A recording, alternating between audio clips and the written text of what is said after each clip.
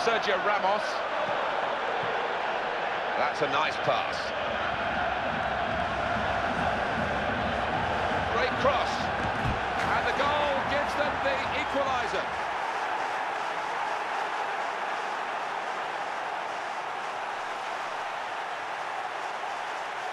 And once he got his head to it, the outcome was a certainty. Oh, it was a lovely cross, it was inviting, he made the most of it.